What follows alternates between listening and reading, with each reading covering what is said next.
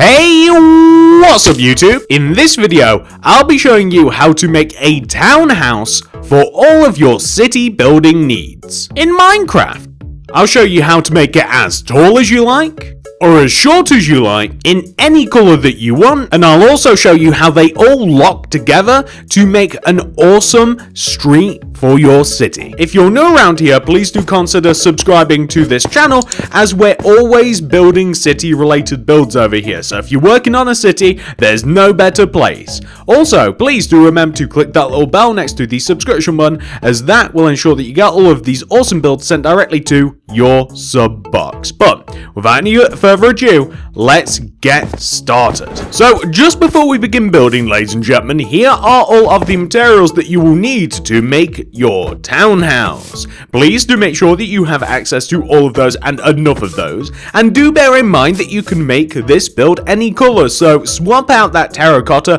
for your favorite block of choice, whether that be any color of concrete, it looks great in every single color, or any color of terracotta, or anything you want to use in between. The amount of space required to make the townhouse is a 10 by 16 block area. I'd always highly recommend making this grid if you are building a city, as you don't want to get this in the wrong spot, but you don't have to make it if you don't want to.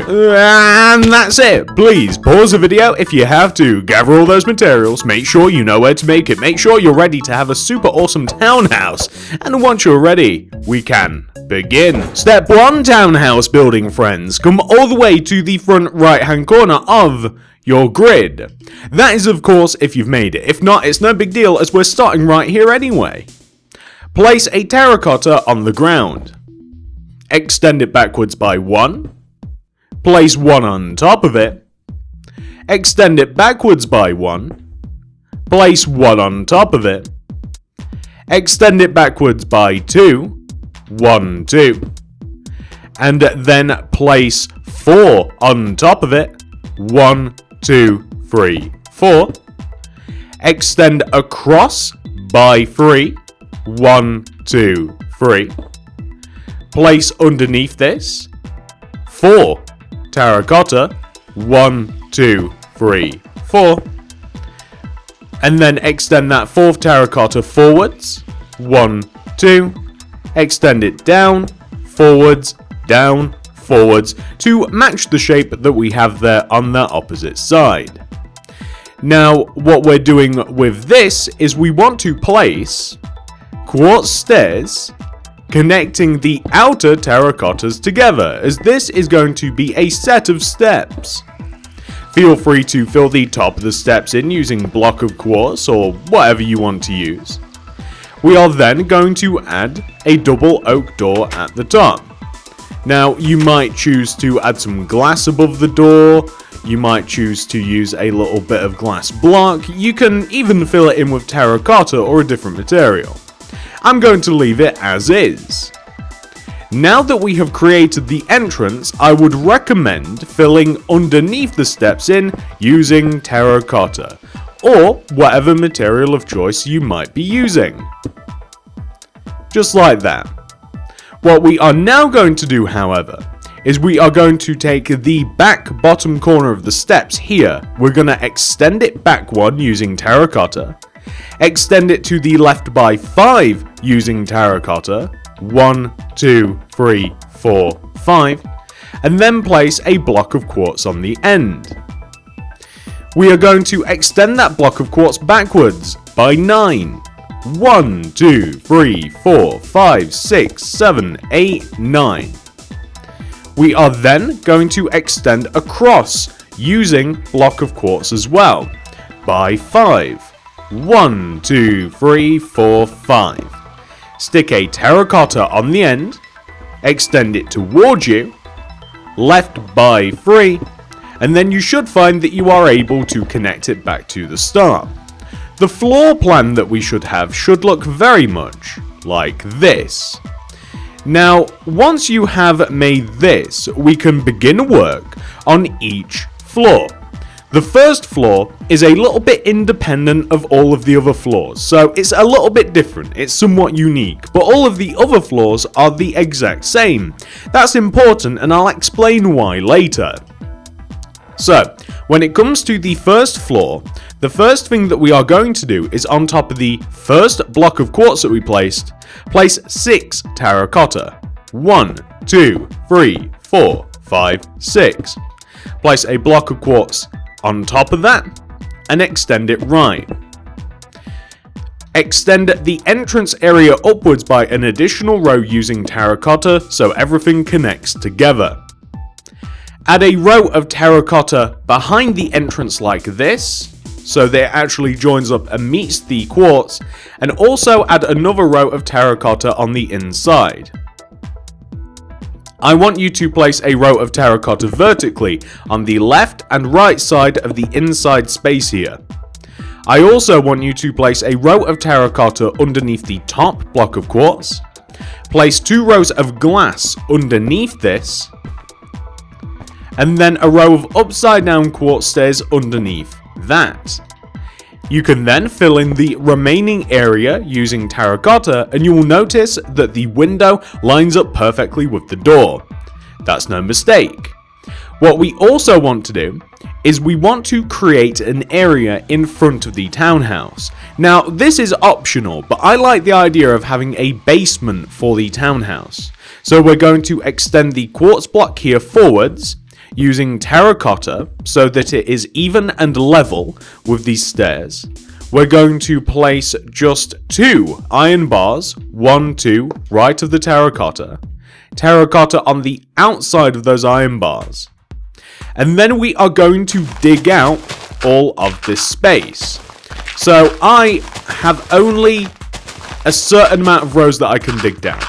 The reason being is because I build pretty much all of my city related builds in a super flat world. This may have been a bad choice in retrospect to be honest with you, but it does mean that we have some very clear limits. For those of you that don't build in super flat, flat worlds, we dug down one, two, three rows. Now, this is important because we're going to extend the terracotta for the front of the build downwards, like this. We're going to create a blank wall. But more so importantly than the blank wall, we want to have a double door, and you can even have the choice of having a little window we have to be able to get down here. So I'm actually going to knock out these two blocks here, and I'm going to place a set of quartz stairs leading down, just like this. And I'll just fill in the side of the stairs like so. The idea is that inside of the build, we are able to dig out all of this space here, so all of the grass and all of what have you, and in doing that, you will create a room. So let me show you what that would look like.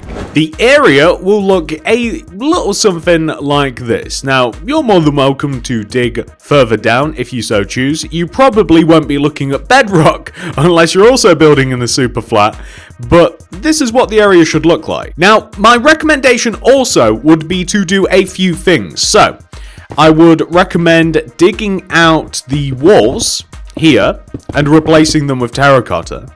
I'd recommend digging out the floor and replacing it with a flooring material of choice. Block of Quartz works quite well down here because I'm going to make this area inside Block of Quartz too. So I'm even going to be digging out and extending the walls and floor outside here. So I'll be doing all of that too. And additionally, the way that this actually turns into a room is the fact that we have to have a floor up above us. So if you place block of quartz, that's that's what I'd recommend. That or some sort of wood. If you place a block of quartz extending inwards from the two door blocks that we have just up above us, and if you cover all of the empty floor space above, we'll have a pretty decent room, and that itself will look quite good. Let me show you how that looks once that is complete. So once you finish doing that, you will actually have something that should look like this.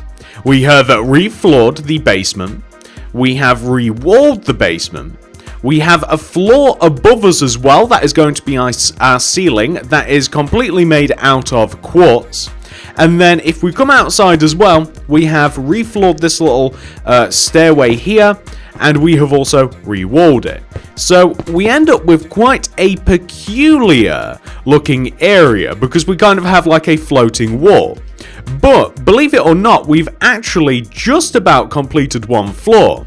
The last thing that we just have to do now is we have to raise up the walls around the townhouse and we just want to raise them all up and they want to be as high as the terracotta that we have on the front of the townhouse. And if you were to raise up all of that terracotta, you'd have something which should look. So you will have something that looks exactly like this.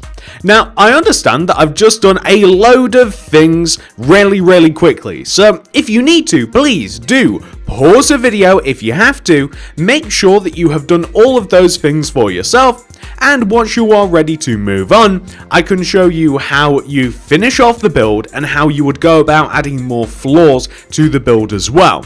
So, the next thing that we're going to do now that we have raised up all of these walls is we are going to extend a block of quartz here around the side of the build and also along the back, equal to the block of quartz on the front of the building.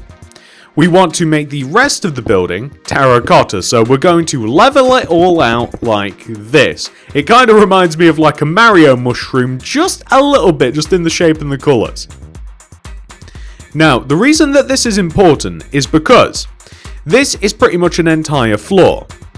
I'm going to add another row of terracotta around the entrance like this, right? On top of the terracotta. You can even, if you want, connect the terracotta front and back. I'd recommend that you add quartz slab around the top of the block of quartz area that we have just on the left side of the build. And believe it or not, that is actually a finished house. It's a really small one. That's just like a one floor, one story townhouse. But you could very well leave it like that if you wanted to. However, let me show you what you need to do to simply add more floors. And this is repeatable, ladies and gentlemen. You can do this as many times as you like, and it's so, so simple. Let me show you. So if you want to add another floor, you start on the left side here, on top of the corner quartz block. These are slabs on the outside, so the corner quartz block. You place five terracotta on top of the corner. One, two, three, four, five. You add a quartz block on top. You extend the quartz block to the right by one, two, three, four, five. You extend it down to the ground using terracotta, like this. You add a row of terracotta on the left, right, and then down, above, like this. You add upside down quartz stairs inside of this empty space, glass pane in the middle, like so. You then go to work on this right side here, so first of all, you just make the terracotta on the right side of the build as high as the terracotta that you have placed on the left. You want to install a window here that is equal to the window here, only in the glass section, meaning you take the glass pane here, you transfer it to this side, you don't place anything else in here, and then you place terracotta everywhere else, just like this.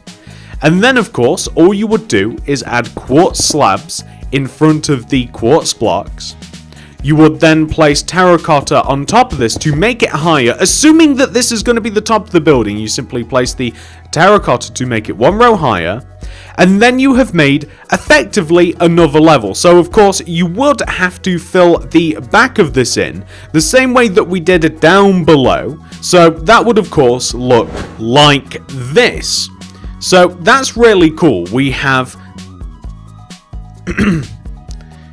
like this. So that's really cool. We have actually made another floor very, very quickly.